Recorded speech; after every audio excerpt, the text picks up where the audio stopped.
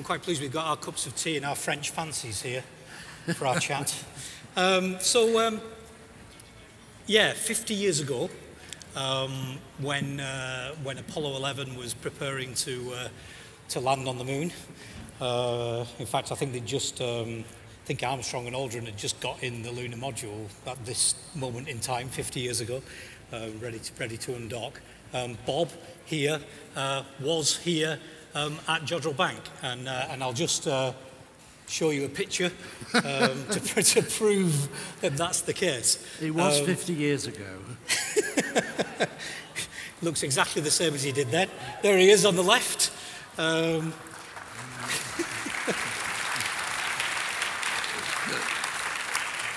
uh, he's with uh, a couple of colleagues. I don't know, do you want to let us know who these people are that you're with? Yes, the one on the right is, of course, Sir Bernard Lovell, the director, and the one in the middle was, uh, he might have been only docked then, but it was Professor J.G. Davies, uh, who was sort of second in command, and he, he was my immediate boss on the technical side of things. Yeah, so this is, um, this is basically the similar scene. This was actually taken in 1967, I think, this photograph. Right, um, yes. But, uh, but it was in, I mean, do you want to tell us about where you were when you, did, when you were doing this work? Yes, it was um, a lab just um, in the main building, and that contained all the equipment that we used. Um, I first came to Jodrell in 1961 because there had been Americans working at Jodrell uh, tracking one of their deep space probes. And when they left Jodrell, they left quite a lot of their equipment behind. And so Professor Lovell decided it would be a good idea to set up a special lab purely for tracking space probes and moon probes and to start off as a basis with this equipment that the Americans had left behind. So that was the scene that I moved into uh, when I first started at Jodrell. Yeah. I mean, how had Jodrell got involved in space tracking in the first place? Because it wasn't something that you'd expect perhaps a radio telescope to be doing.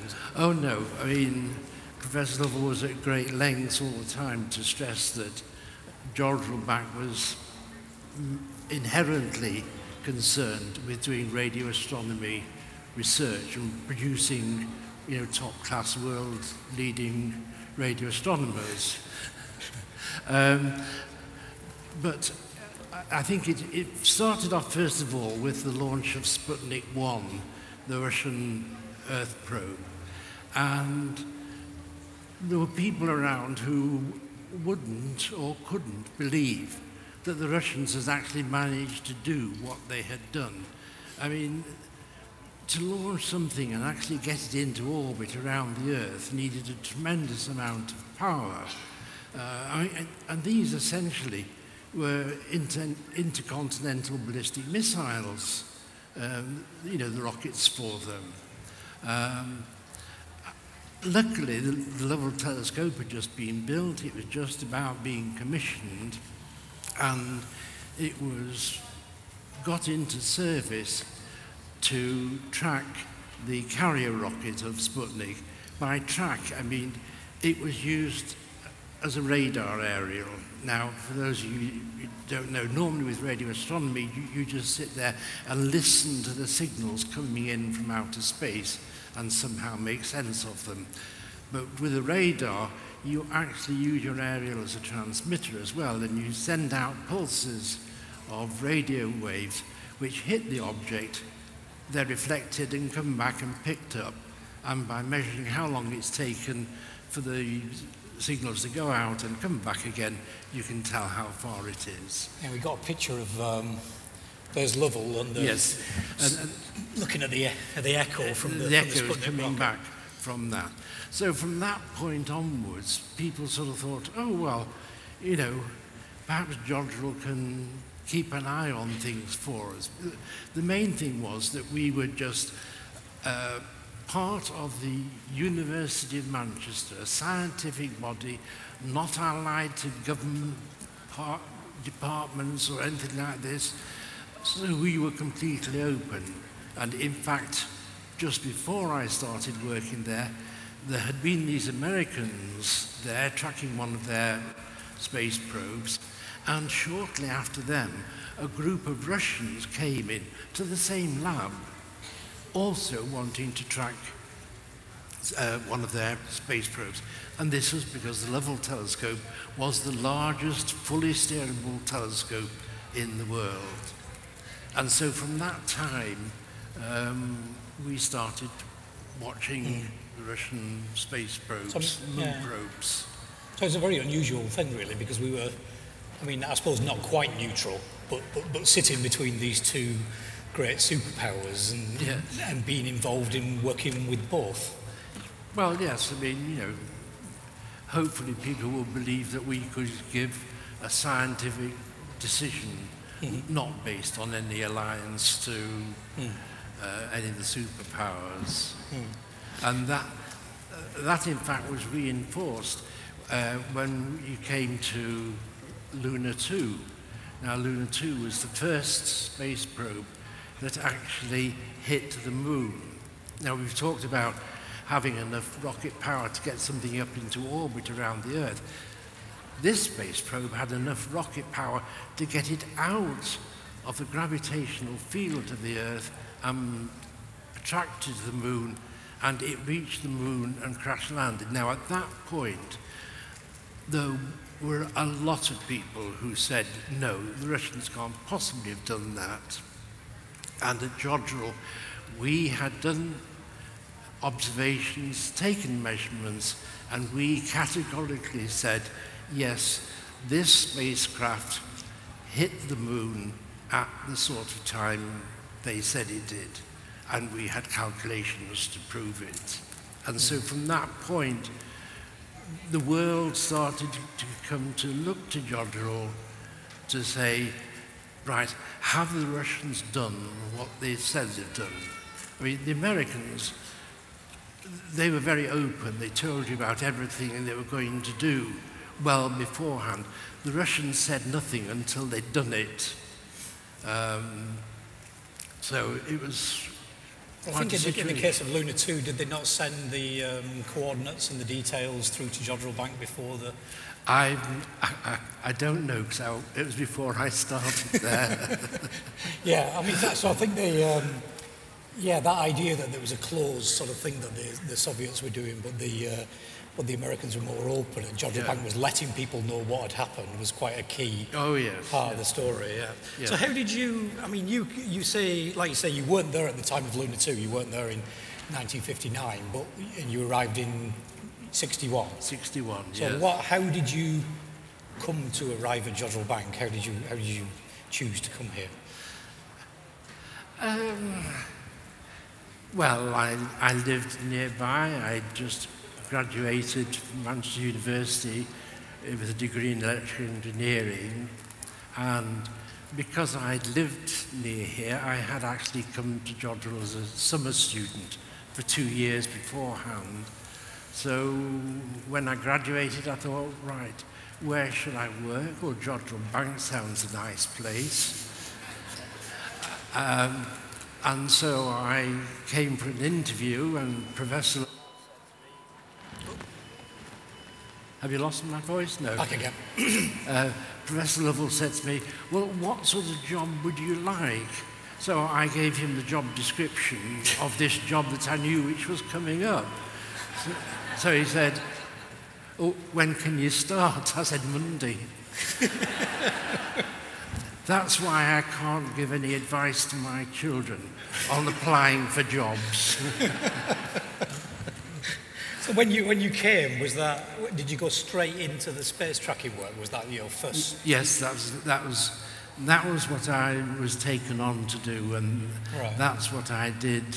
Uh, well into the 70s, there, there was moon probes, Mars probes, Venus probes, things like this to look at from the Russians, and also, um, as far as the moon was concerned, there was the Apollo series, which was so mind-boggling in what it was trying to do that you could just not take an interest in it at all. So, so when you were there, how did you know? I mean, for example, presumably the Ameri- it was very clear when the Americans were launching uh, a rocket because they were very open about it. But if the, if the Soviets were less open about it, how did you know when to swing the Lovell telescope round and, and, and point it at the moon? It, it was very easy to lose friends at Jodrell at that time because you, you heard that the Russians had launched a moon probe. So you knew that in about three days' time it was going to get to the moon. And when it got to the moon, you would want to be using the Lovell telescope. But unfortunately, at the present time, there are some people called radio astronomers actually using it, and they wanted to carry on doing their research. So there were negotiations so that we could borrow the Lovell telescope um, for when it got to the moon. And this is what gave rise to building what was called a finder telescope. This was only, only 50 foot in diameter and was, bound, was built literally outside my lab. And the equipment for the Russian moon probes was continuously mounted on that. So when it was in, when we found out that a Russian moon probe had been launched, I could go into work and I could virtually switch that equipment on straight away and start looking for it. Um, because it was smaller, it had a, a wider beam in which it could pick up signals, so it was easier to find it.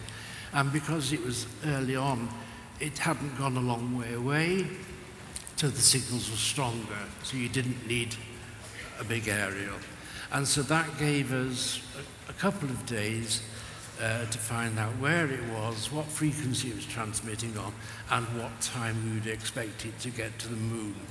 During that time, negoti negotiations were then carried on with the radio astronomers in order to uh, borrow the Chuck, Lovell chuck telescope. them off the telescope. Yeah. Well, not shut them off, no, borrow it from them. But it, this, in fact, when you come to Apollo 11, um, had a great knock-on effect because at that time we were tracking the Russian moon probe Luna 15. It had got there and gone into orbit around the moon. Um, and we were tracking that using the Lovell telescope. But we wanted to, to look at the Apollo space probe, the moon probe, uh, as well. And luckily, we had this 50-foot radio telescope um, where the, the Russian equipment had just been taken off it, and so we then put the equipment on to receive signals from the Apollo moon missions, so that we, we were running virtually two telescopes side by side. This is a, picture of the. Uh, that's the 50 foot telescope in the middle there that you can That's see. right, yes. There, yeah. So that was the one that was used to. Had the both 50 foot telescope pointed at the moon and the Lovell Yeah. telescope pointed at the moon. Yes, that's right, yes. So your your lab in the middle there, you can see the control building, um, and your lab was in the back of that building there. Yes, this was quite an early photograph, and my lab was that wooden hut that you can see on the roof. well, it, I didn't know that actually. It, it started off that my lab was actually inside the building to the left of it, up on the first floor. And when they built the 50 foot telescope, they needed somewhere for the control gear for it. And so that was put in that wooden hut. And then when my work expanded and I was doing more of this, they decided that they would expand my lab and uh, they, they built a lab around that wooden hut. That's, um, I mean, before, you know, the, the, the Soviets were, were, were basically outperforming the Americans. Is that the true in the early part of the space race? Well, it's really it is a question of how you talk about outperforming. Mm. They have the capability of launching double-decker buses. This is Russians um, into space, but um, things that weigh as much as a double-decker bus. Well, yes. Rather than actual oh, double-decker. Oh yes, yes. Okay. but we got a scoop there. um, but certainly there are electronics on it from the signals that we picked up were very basic and very similar. And when we switched over to picking up signals from Apollo missions, it was just like entering into an, another world. You know, it's like going from sort of slow Morse signals to brilliant color TV or something like that. Mm. So the Americans were technologically far advanced from the Russians, but the Russians had the capability of launching heavy weights, so it didn't really matter quite as much mm. how sophisticated the equipment was. Mm. I mean, we've got this great story of, uh, of Luna 9 that you were involved with. I don't know, will you tell us a little bit about, about Luna 9? Oh, yes, poor Professor Lovell. I, I really say that, it was most unfortunate. Luna 9 went to the moon. They had been trying on several uh, moon missions to soft land a space probe on the moon's surface. And they had failed with varying success. But with Luna 9, they managed it. We, we picked up the signals from it as it was going down to the moon's surface, and we could tell that it had landed softly on the moon's surface. And then there was nothing. So we thought, oh dear, have they made another boob clanger or whatever? And then suddenly, after a few moments, we started getting signals again. And at, at this point, it was realized that what it was doing now was sending back pictures. Now, um, probably right to say in the old days, um, there was um, a, form of transmitting pictures called facsimile. Is that the right word? Mm-hmm. yes. Um, and you, you, sort of gradually scan the picture like that um, and send it over the radio waves. And this the, the signals that Luna 9 was sending back were essentially those. And, uh, well, we didn't, we didn't have a machine for uh, printing those out, and so a request was put out, and one of our daily newspapers responded by providing uh, equipment to do it. Now, if you had managed to soft land a spacecraft on the surface of the moon and it was alive and kicking and sending back pictures which no one else had ever seen in the world, wouldn't you be hell bent on getting them published and saying, what a good boy I am? And that's exactly what Professor Lovell thought. He thought, as soon as the Russians get these signals, these pictures, they're going to publish them, splash them out all around the world. But I'm a good guy, and what I'll do is I won't try and steal their thunder.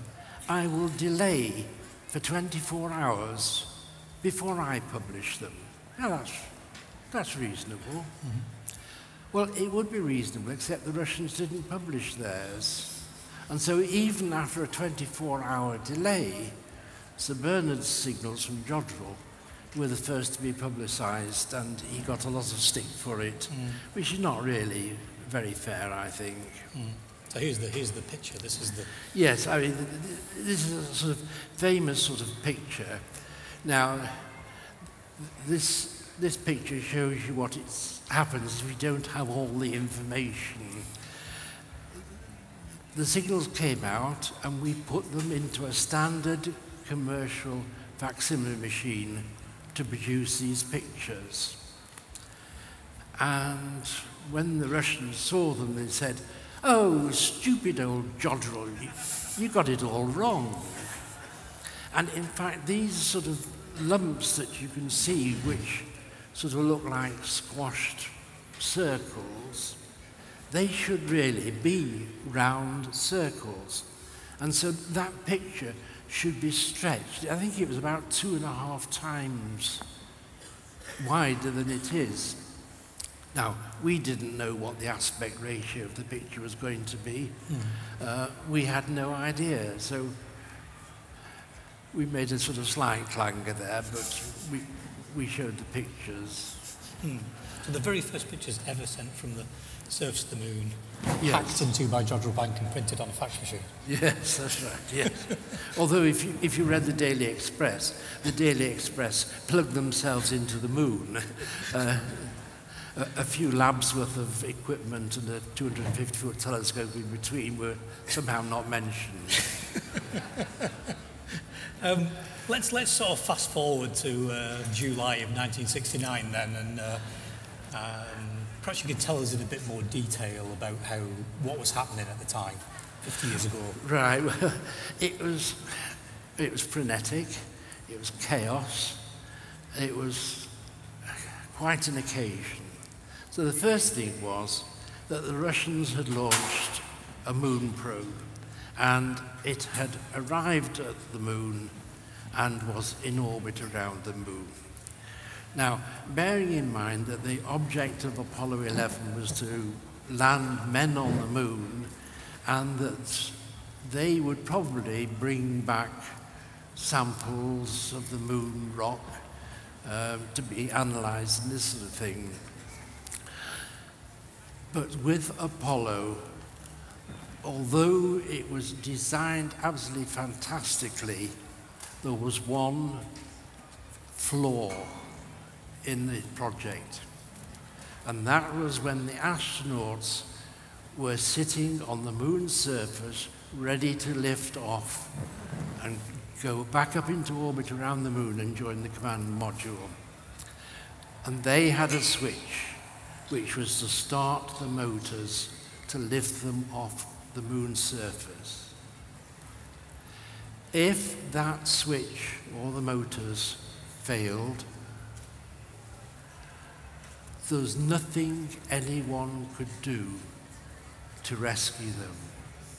There was nothing that the command pilot orbiting the moon could do in time. There was no way that they could launch another Apollo mission to get to the moon to rescue them. If that motor didn't work the first time, it was kaput and even the President of the United States had a speech prepared for that eventuality. But here we have got the Russians, and they're obviously going to try and soft land a space probe on the moon's surface. And as it turned out from later ones, the idea was then that it would automatically take a sample of the moon's surface, load it back into the spacecraft, and then the spacecraft would come up from the moon's surface, come back to Earth, and be sort of collected, found, or whatever. Mm. Uh, and, and so they will be able to do that and say, well, we've landed on the moon, we've brought back a moon sample at no thought of any fatalities to a human being. Mm-hmm. Unfortunately, they didn't manage it that time. We all know how Apollo landed on the moon and the astronauts walked on the surface, literally just about two hours before they were due to lift off back off the moon up into orbit and then back to Earth, Luna 15 tried to soft land on the moon and it failed and it crashed into the surface. And that was the end of it. As I say, they did do it later on with other mm. probes, but mm. not that one. So what, what was the scene like in, in Jodrell Bank? Where, where were you? Who was the, what was going on during this period when you were watching these or listening to these momentous events? Well, one sort of convenient sort of thing is that the Americans, their tracking stations are spaced out all the way around the world. And so as the Earth rotates and the moon sets to one tracking station, it's already risen to the next one and they can follow it on like that. Russia, however, is very much a landlocked country. And at that time, to my knowledge anyway, they didn't have any other tracking stations other than their main one, which was somewhere in the Crimea. And what this meant was that by the time the moon got round to being due south of us, by that time it was already set to the Russian tracking station in the Crimea. So the first half of the moon's day, we would be using the Lovell telescope, picking up the signals from Luna 15, because we didn't know what it was going to do and when it was going to do it. That was our prime object. Using the big telescope? Yeah. That was using with the Lovell telescope, mm. yes. Mm. Um, and then when the, the moon got to, to about due south of us, it was invariably the time when we got no more signals. And so at that point, we then started listening to the signals coming off a 50-foot telescope. Um, although we had equipment to sort of listen to the telemetry and the voices, etc., on, on both of them at the same time, we could only measure the actual frequency of any of them, only one of them at a time. Um, so you know, you know that um, if a car goes past you, it sort of goes, it goes from high to low. Well, for the technically minded, this is a thing called the Doppler effect. And so if you listen to the signal coming from the spacecraft and say, how high is it or how low is it, you can tell how fast it's traveling. And we use that then to measure what the acceleration is, how quickly it's going into the moon's surface. You have got that yeah, slide. yeah. So this is, tell, tell us about this famous uh, picture. Yes, it's, uh, Well, forget about all this bit on the left-hand side. That's just a well, that's just the way of the computer joining up something that's going off scale. But if we look at this last curve coming down, um, the frequency is coming down, and it's coming down. Oh, yes, it's coming down, and it's moving towards it's sitting on the moon's surface and producing a steady frequency. Now, the thing is that I think even I was surprised how sensitive this measurement was. So this, so this, is, a, this is a signal from the Eagle lander? This, this is a signal from the Eagle landing. And so, you see this little bump here like that. Well, if you remember, when the Eagle was landing, uh, Neil Armstrong realized that they were going towards an area which had uh, quite a few boulders on it. And he didn't like the look of it. And so he took manual control of the LEM landing and just moved it on a little bit further.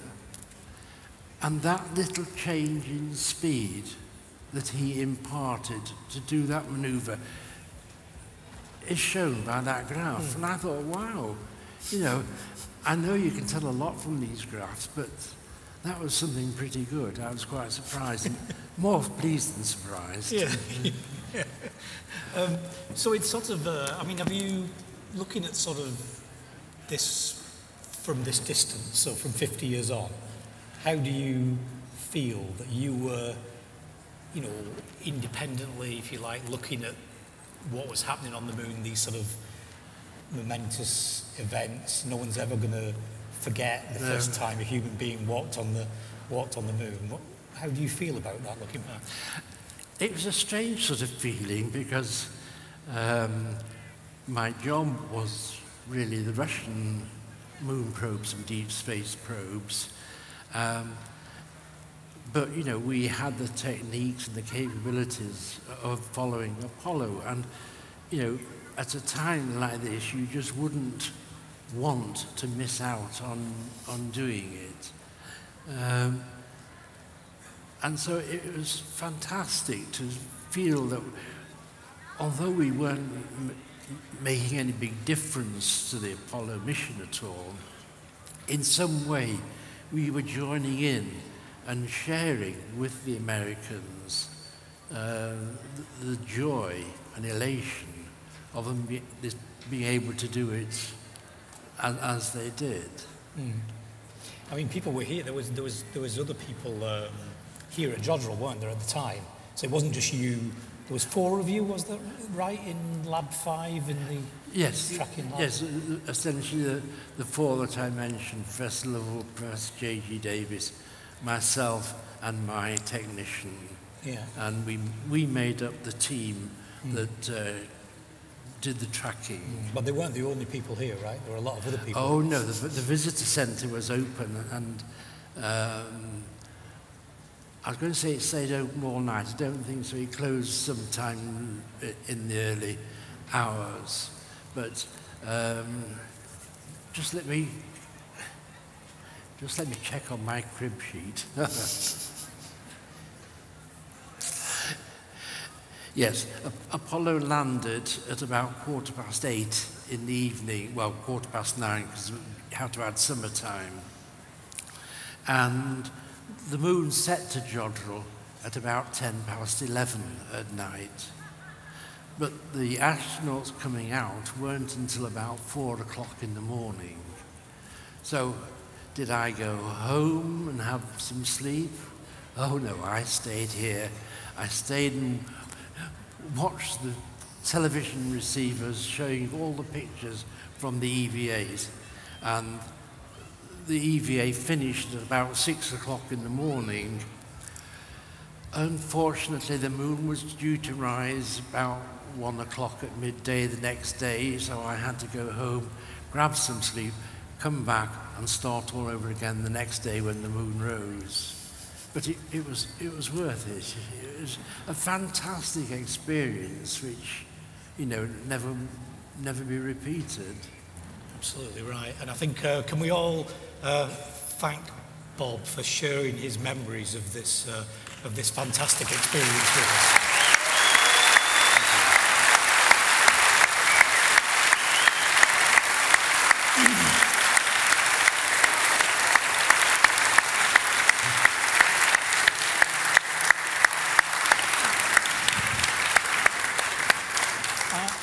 We've got time for uh, some questions, actually, if anybody would like to ask uh, Bob some questions about uh, any of the space tracking work that Jodrell Bank's been involved with, I think.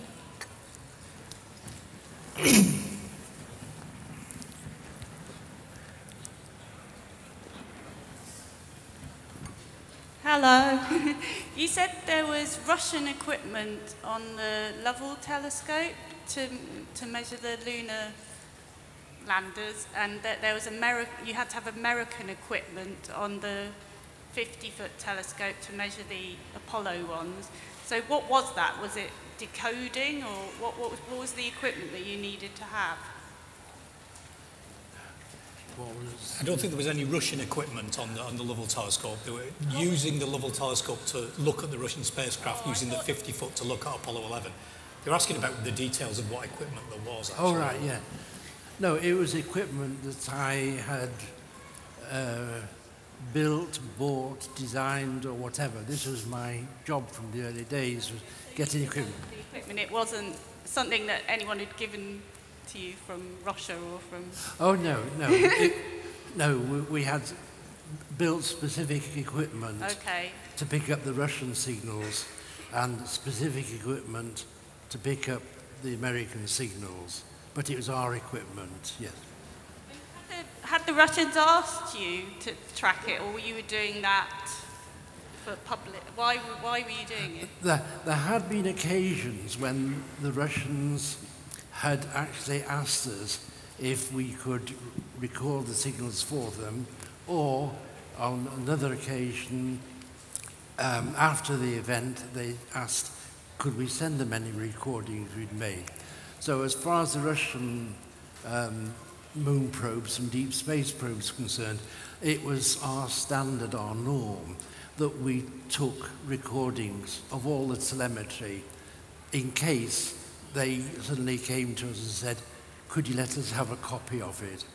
But we never did that with the Americans. Um, I mean, they had their own network of things. I remember Bernard Lovell telling me that immediately after the signals from Luna 15, the one that crashed into the moon while the Apollo 11 astronauts were on the moon, as soon as those signals stopped, he said that a few minutes later the phone rang. Do you, do you, remember, do you remember that? I, I don't remember, no. Apparently it was the president of the USSR Academy of Sciences asking for a copy of the recordings. So, right, yeah. Yeah. And so it was, it was nice to be in a position where we could supply those recordings. And, you know, that's why we did the recordings all, all the time. Mm-hmm. Right. Uh, to your knowledge, do you know if Jodwell has tracked any other... Sorry, I can't, can't hear you. Sorry, do you... Hmm, do you know if Jodwell has tracked any other of the Apollo crafts or any other space missions since 69? So Did we track any of the other Apollo spacecraft after 1969? Oh, sorry.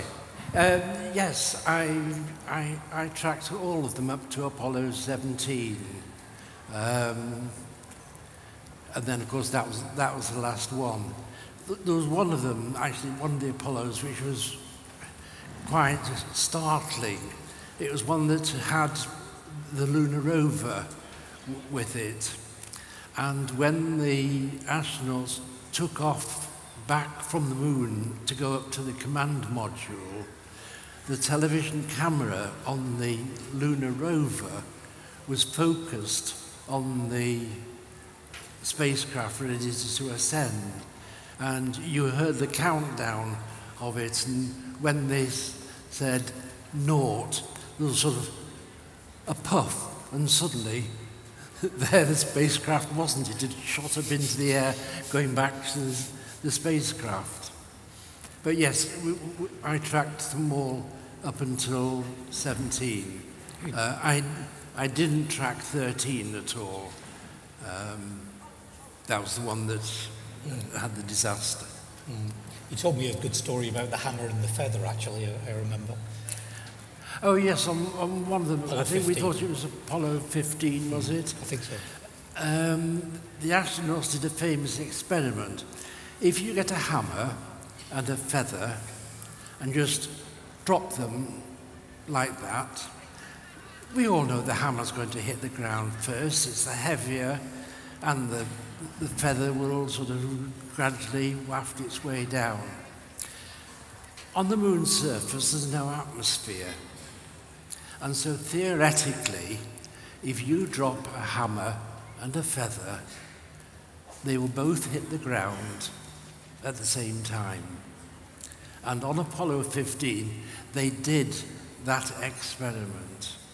And we were receiving pictures from that Apollo spacecraft. And so in my lab, we saw them do this experiment and we saw the hammer and the feather land on the ground at the same time later. And five seconds later, we looked up, and there on the television set, the, you know, the terrestrial television set, they were doing the same thing, just dropping it. And what the Americans must have done was somewhere between them receiving the signals and transmitting them out to the broadcast authorities, there was a man there with a pair of scissors waiting to cut the tape just in case something disastrously happened to the spacecraft or the, the spacemen. You know, a, a, a puncture, a tear in their suit, and that's the end of them.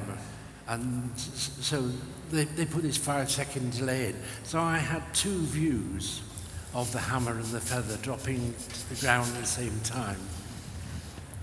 Any other questions?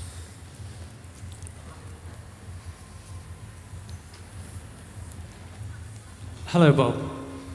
You mentioned earlier that the Americans were very willing and free with the information about their missions, whereas the Soviets were less so.